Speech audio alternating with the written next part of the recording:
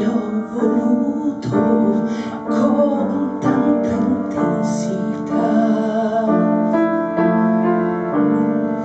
Ma quale scelta ho?